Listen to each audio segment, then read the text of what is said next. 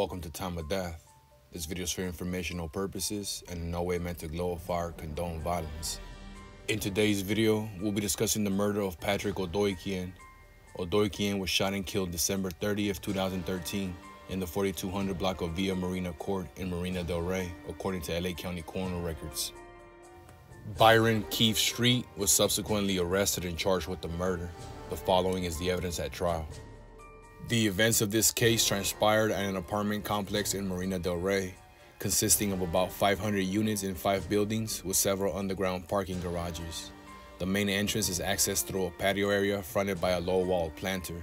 To the rear of the patio area is an outdoor courtyard. A private company provided security for the apartment complex using unarmed guards. Defendant Street and victim Odoikian were guards with the company, and Odoikian additionally served as a supervisor at the complex. While on duty during the overnight shift on December 28th to 29th, Street and Odoikian were in a verbal confrontation in which Odoikian yelled loudly at Street and challenged him to a fight. Burden Nabe, the owner of the security company, separated the two men.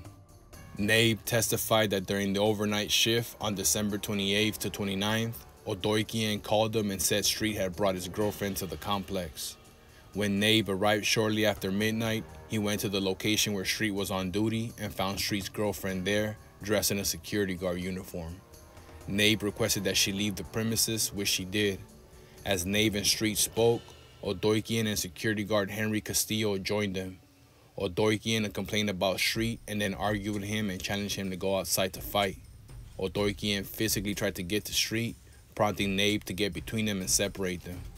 He testified that on the day of the shooting, he told detectives he heard Street say, I don't fight, I shoot.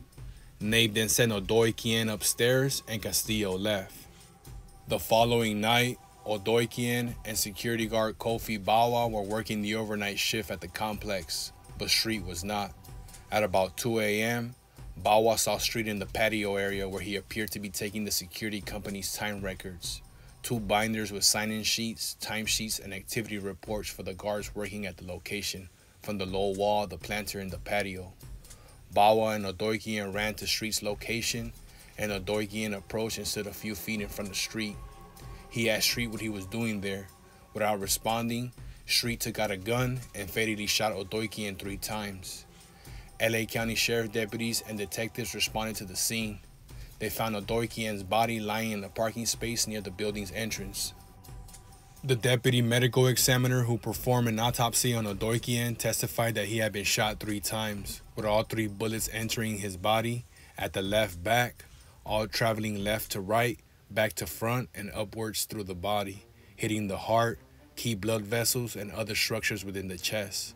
All three were fatal, and he recovered a bullet from each wound.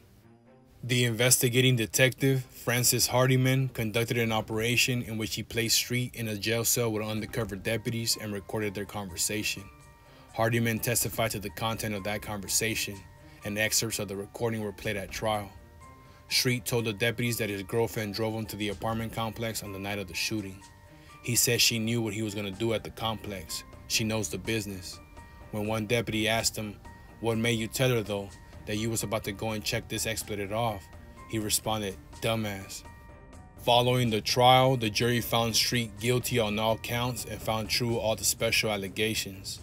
The court sentenced Street to 25 years to life for the first degree murder, 25 years to life for the gun enhancement, and a sentence of life without the possibility of parole for the special circumstance of murder committed while Street was engaged in the commission of a burglary. Patrick Odoikian was 47 years old at the time of death.